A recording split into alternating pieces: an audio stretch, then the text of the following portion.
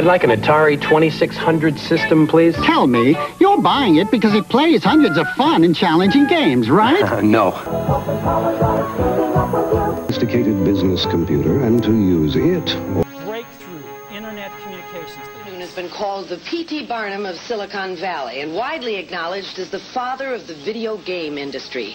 He created Pong and 35 other video games while chairman of Atari. He also is the founder of Pizza Time Theater. And if that's not enough, he's currently working on personal robots for home use. As a matter of fact, you'll see how one works this afternoon right here on People Are Talking. But first of all, let's welcome creative genius Nolan Bushnell.